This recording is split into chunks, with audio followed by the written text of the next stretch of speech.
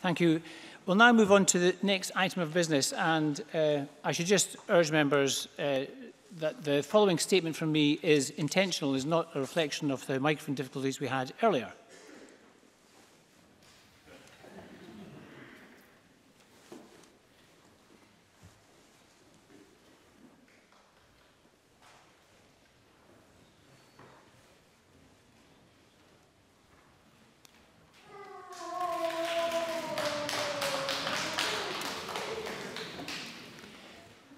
would ask members who wish to speak in this debate to press their request to speak buttons now. And I call on... Statement, sorry. and I... No debate, please. Uh, and I would ask the Minister to speak to the statement. Thank you, Presiding Officer. It is a privilege and an honour to introduce Scotland's first British Sign Language BSL National Plan – which I launched this morning at the Royal Conservatoire of Scotland. This is the UK's first and only BSL national plan, and it was particularly symbolic to meet with students of the UK's first and only degree in performing arts run in BSL. It provides yet another example of the forward-thinking, progressive approach we are taking to social policy in Scotland. This chamber debated the draft plan in April, and I'm delighted to be able to share the final plan. This has been shaped by over a thousand individuals and dozens of organisations who participated in the consultation online in BSL or English or through one of nearly 100 events across the country. When we debated the draft plan, uh, and indeed when we unanimously passed the BSL Scotland Act back in 2015, the public gallery was full of BSL users, as it is today.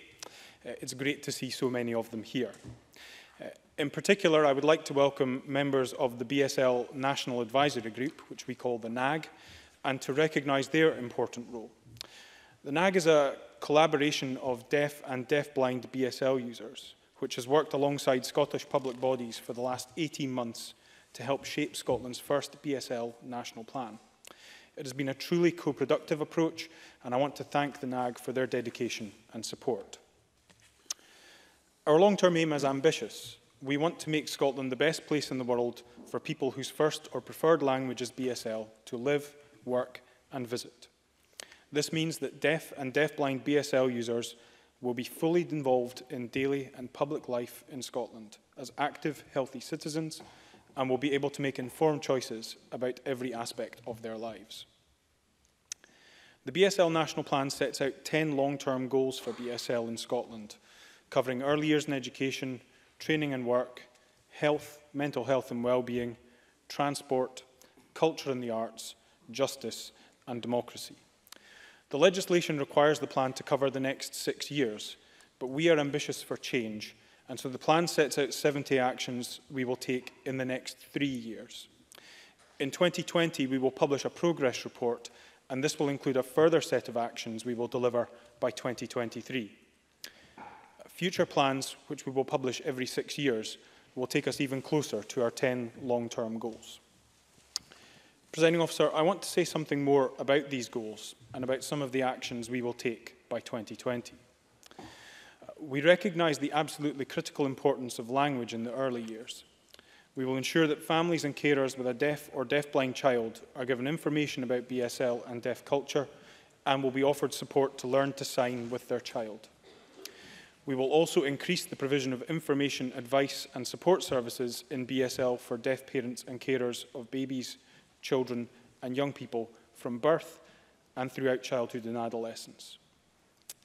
In education, the Scottish Government's goal is that all children and young people reach their full potential at school and beyond. And the plan sets out more than a dozen actions we will take to ensure that this applies equally to children and young people who use BSL. The actions in the plan will improve the experience of pupils and students who use BSL, enable teachers to provide them with a better service, and encourage deaf parents to be more actively involved in their child's education. We also want more children to be able to learn BSL in schools, and my visit to Stonywood Primary School in Aberdeen over recess showed me just how much children enjoy learning BSL. We will work with the Scottish Qualifications Authority to develop new qualifications in BSL, which will make it a more attractive subject choice as part of the Scottish curriculum. When pupils approach the end of their school days, we will provide a wide range of information, advice and guidance in BSL to support their career and learning choices and the transition from school to college, university or the workplace. And when they move into the world of work, We want them to feel supported to develop the necessary skills to become and remain valued members of the Scottish workforce and to progress in their careers. Presiding officer, I would like to turn my attention briefly to the range of actions in the plan to improve the health and well-being of BSL users in Scotland. For example, we will increase the availability of relevant health information in BSL. This will include making sure that information on national health screening and immunisation programmes is routinely translated into BSL and is easy to access. We will also develop a learning resource for NHS staff to raise awareness of BSL and deaf culture. Presiding officer, there are 70 actions in the BSL National Plan, and I have only been able to mention some of them. There are also actions to improve access to information and services in transport, in culture, leisure, sport and the arts, and in justice. There is also a range of actions on participation on democracy and public life. Uh, in particular, uh, I want to highlight our commitment to provide funding to enable deaf BSL users and people with disability-related costs to put themselves forward for election to this Parliament in 2021 through our new Access to Elected Office Fund. So perhaps by the time we are discussing Scotland's second BSL national plan in 2023, we will have an MSP who uses BSL. The BSL National Plan covers all national public bodies who are directly answerable to Scottish ministers. This means that we've been able to take a strategic, coordinated approach at the national level. Uh, other public bodies, including local authorities, regional NHS boards, colleges and universities, and the Scottish Parliament, will have to publish their own plans next year. We're keen to share our learning and to support public bodies to develop their own plans, and we will do this through a series of roadshows across Scotland and guidance which will be uploaded on our new BSL Scotland Act website. And over the next three years, we will offer public bodies practical support through the BSL Scotland Act Partnership, formerly known as the Deaf Sector Partnership. The partnership, which includes British Deaf Association, Deaf Action, Deaf Blind Scotland, National Deaf Children's Society and Scottish Council on Deafness, has been awarded funding of £1.3 million to continue their important work.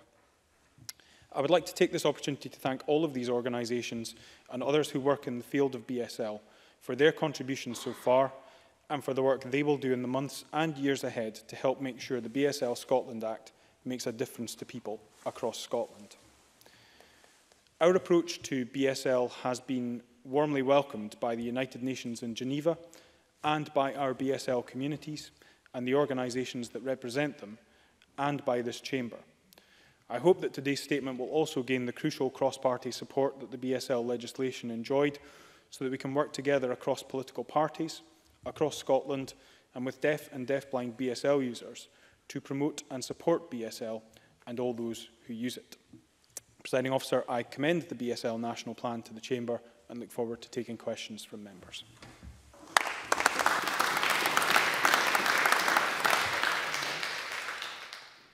Thank you. We have a, around 20 minutes for questions. I would urge those who wish to ask a question to press their request to speak button now. And I call on Liz Smith.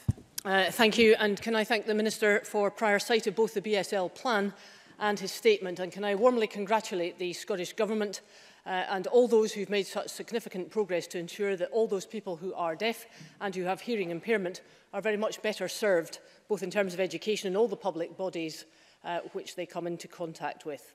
That is very good news indeed. As the Minister himself acknowledges, these changes are substantial and will continue well into the future. So could I ask the Minister three things? Firstly, what estimate has the Scottish Government made of the numbers of specialist staff who will be required across Scotland to implement these changes? Secondly, what efforts have been made to provide an accurate estimate of the ongoing costs of training these staff? And thirdly, in light of some of the evidence that was originally presented to the Education Committee when young people expressed concerns about the experiences that they had encountered at colleges and universities, may, may I ask whether the action referred to in the BSL plan will mean that changes will become part of the outcome agreements for FE and HE institutions or whether the Scottish Funding Council will provide separate guidelines? Minister. Okay. Uh, in terms of Liz Smith's initial question around the uh, relevant numbers, um, what we have attempted to do with the plan is not to put fixed numbers within the plan, um, because we recognise that there will be varying needs depending on the different sectors uh, across Scotland. We already accept and understand that there are variations in terms of interpretation services uh, from within the, the pool of interpreters which are already there. But what I can say is that we will be ensuring uh, that courses are available and that capacity is available across those colleges and universities which already provide uh, BSL qualifications to ensure that we have that throughput uh, of interpreters required to support the work that we're doing. Similarly, in terms of budget, all of the actions which are contained within the plan uh, are, pl are actions which we are fully taking forward and are fully budgeted for within the work that the Scottish Government will be doing over the coming three years, which I've identified in relation to the actions. In terms of the question she asks about colleges and universities, each college and university will be required to produce their own BSL plan under the uh, guidance of under the terms of the legislation. We'll be working closely with colleges and universities in relation to that. We'll also be looking very carefully at uh, the approach on widening access and the work that is highlighted uh, in the action plan uh, in relation to colleges and universities and improving the experience and access to universities will be taken forward uh, alongside that work, but also alongside the work for each college and university to produce their own BSL plan and for that to reflect the experience that BSL users should have when they attend university or college.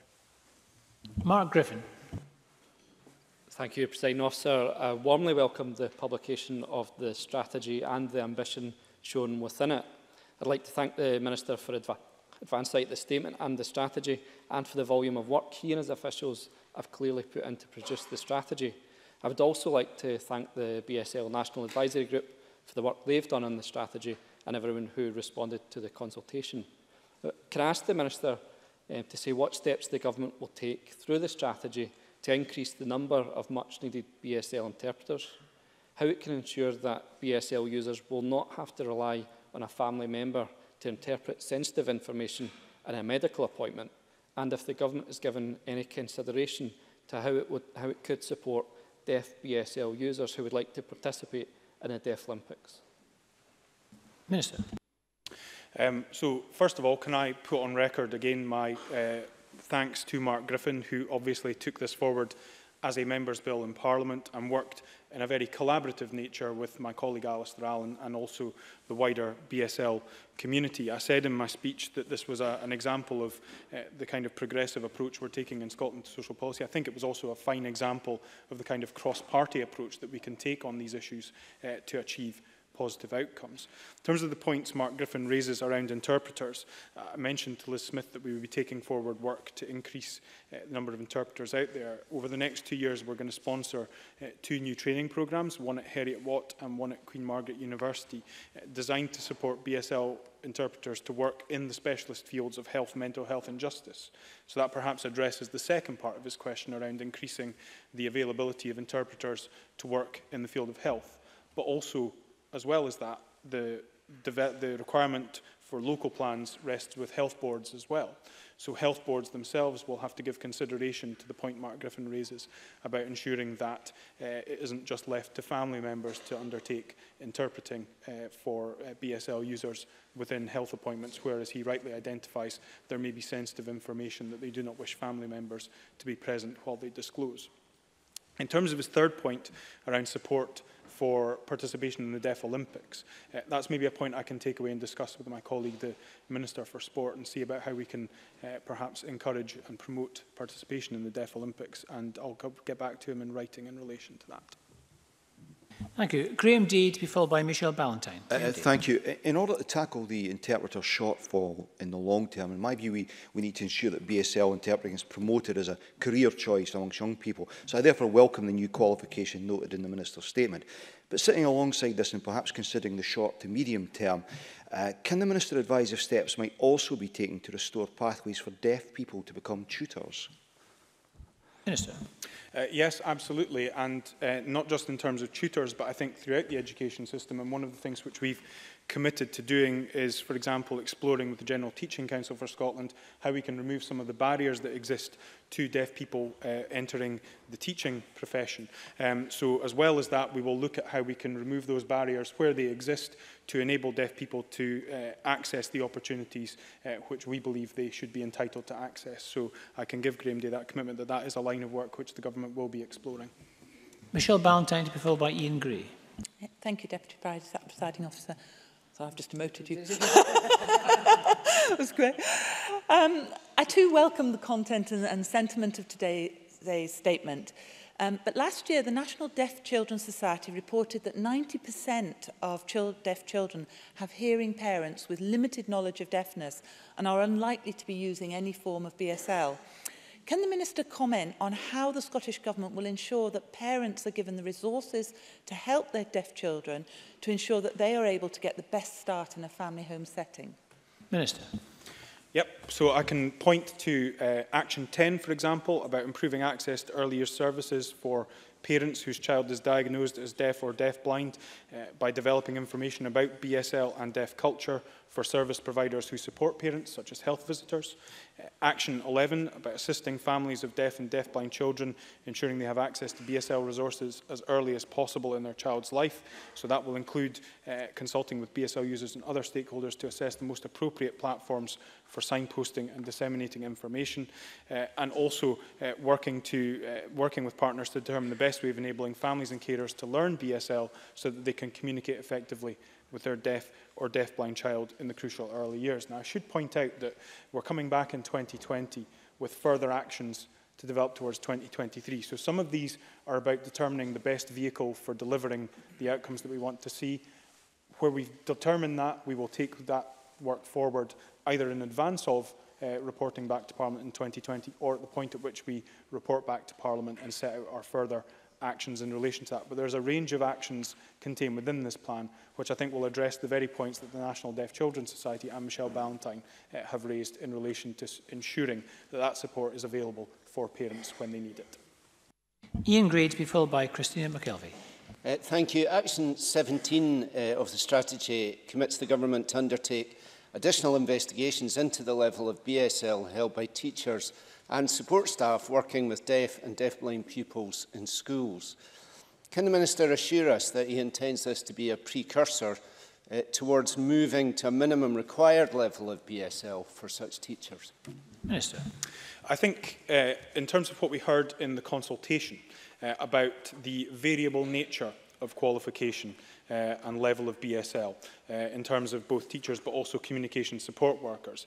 What this is about is about us undertaking, I think, a, a more comprehensive analysis of what the actual picture is out there. But I do give the commitment to Ian Gray that I want to see uh, people being supported to the most appropriate level. And if that requires us to set a minimum standard, that is what the government uh, will do.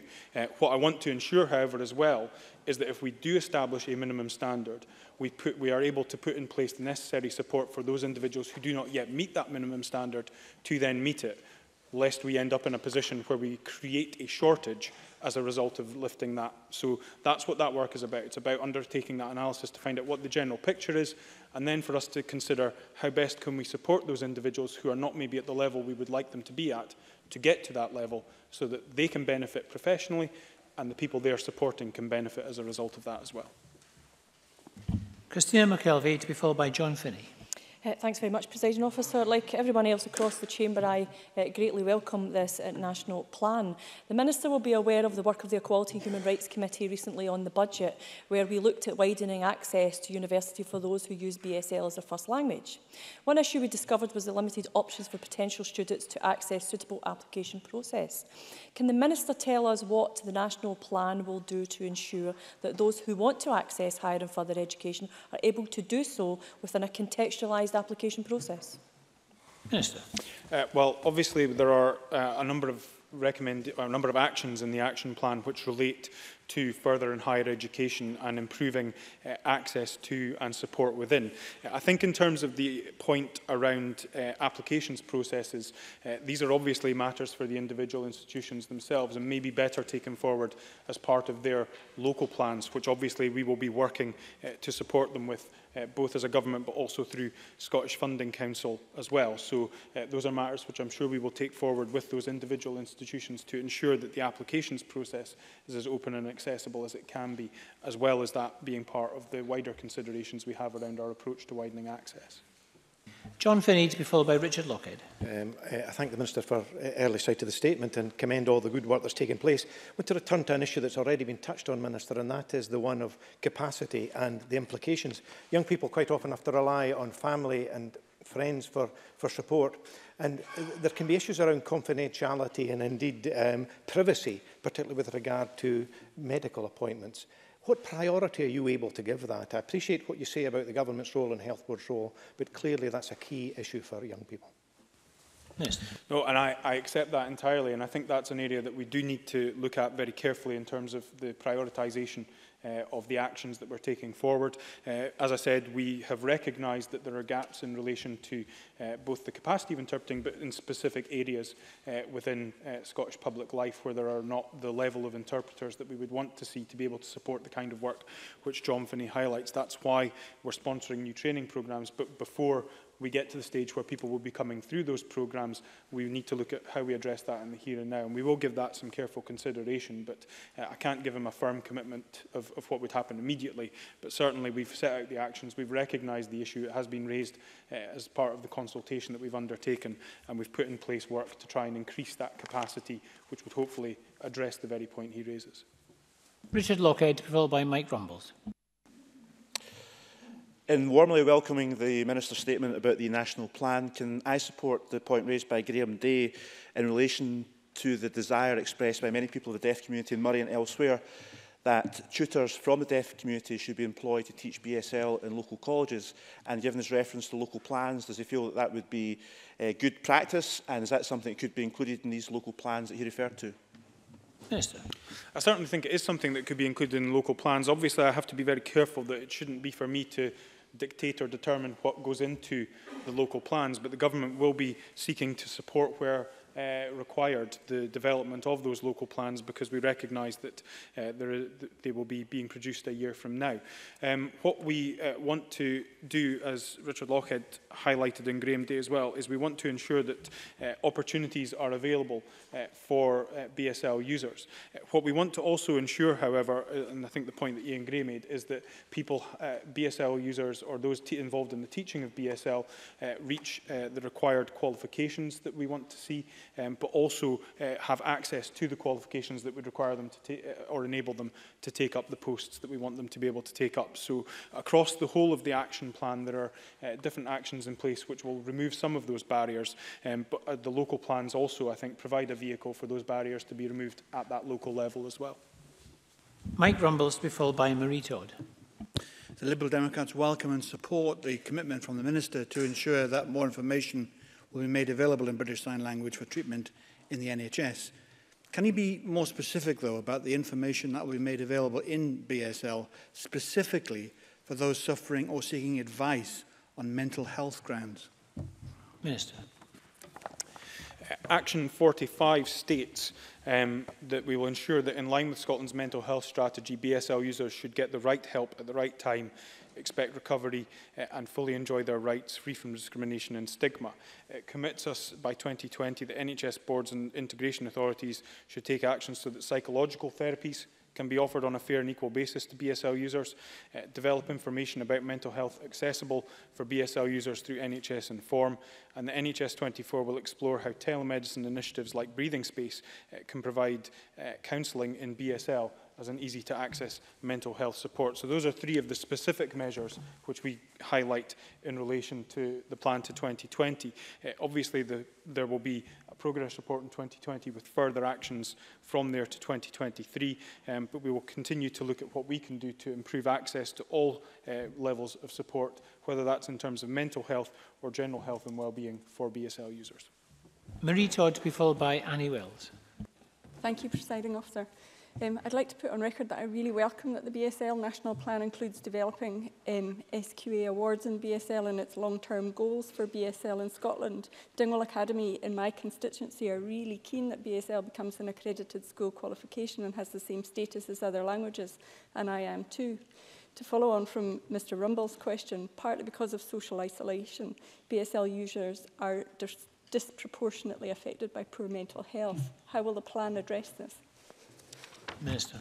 Uh, well, I look forward to visiting Dingwall Academy uh, next month, who Marie Todd has assiduously highlighted uh, at every opportunity in relation to BSL, uh, and I look forward to seeing the work that they're doing. I had the opportunity to see the work being done at Stonywood School in my own constituency, uh, and it was fantastic watching uh, in a primary four class children uh, acting as teachers to other children in relation to BSL, which I thought was quite inspirational.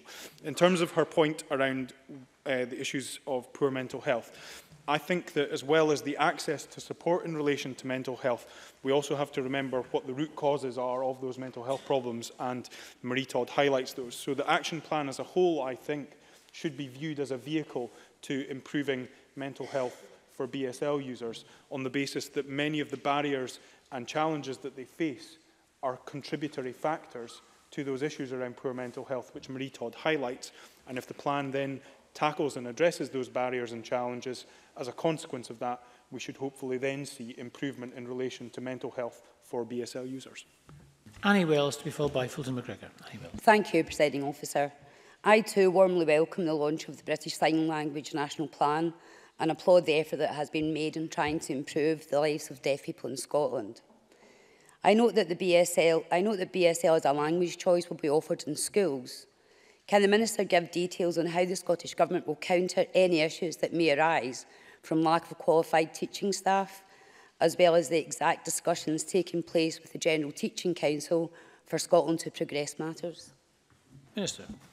Uh, well, first of all, I don't think I could give a, a blow-by-blow -blow account of the discussions that are being had, but we are committed to ensuring that uh, the barriers that exist to uh, deaf BSL users in particular, but BSL users more generally, uh, becoming uh, teachers uh, are addressed as part of our uh, challenge, uh, as part of our approach to widening the number of people who are able to access the teaching profession. So that will hopefully uh, go some way to addressing the point which Annie Wells highlights uh, of ensuring that where we uh, want to create a qualification an accredited qualification in BSL, um, we will have the capacity in terms of teachers to be able to teach that uh, and also uh, I think the creation of that uh, accredited qualification will also make it perhaps easier for people to gain access to uh, teaching routes as a result of the fact that they will be teaching a subject which will have an accredited qualification attached to it. But those are discussions that we'll continue to take forward with the Scottish Qualifications Authority and the General Teaching Council for Scotland. So while I can't give her a blow-by-blow -blow account of those discussions, she can rest assured those discussions are ongoing. And when we have uh, more, more to update members on in relation to that, we will seek to do so. And Fulton McGregor. Thank you, President Officer. Like everyone else, I welcome uh, this announcement today, but I would also like to take this opportunity to put on record um, the praise of Holly Kinsella, a, a young woman from my constituency who campaigned uh, for this through the NDCS Scotland um, Society. And she, I did invite her to come along today, but she couldn't make it because she's at university. Um, How will the plan address the unemployment and underemployment issues for BSL users and will the plan also help to tackle uh, those issues faced by, by those in employment? Minister. Uh, well, first of all, um, can I uh, commend Fulton McGregor for highlighting the, the work that Holly Kinsella uh, has done, and I know that she was uh, taken to Parliament by uh, Mr McGregor as his local champion on the basis of the work that she has done in relation to raising awareness of and campaigning for improvements in relation to BSL. Uh, the plan sets out a wide range of actions in relation to employment and underemployment. Um, we will be looking to work with, for example, Skills Development Scotland developing young workforce. We'll be looking at uh, awarding the highest level of modern apprenticeship funding for BSL users within their chosen framework and promoting foundation apprenticeships for school children who use BSL to try, try and address those issues that Fulton McGregor rightly highlights around uh, underemployment, unemployment and perhaps lack of access. But also what we want to ensure is that we uh, get the message out there to employers. Uh, so working alongside uh, others to raise awareness of things like, for example, access to work schemes, uh, which can help ensure that within the workforce, once access has been achieved within the workforce, there is that parity of esteem uh, that so often BSL, BSL users in the workforce perhaps don't feel they have achieved. Thank you. That concludes our debate. We'll now move on to the next item of business and we'll just take a few moments for members to change seats.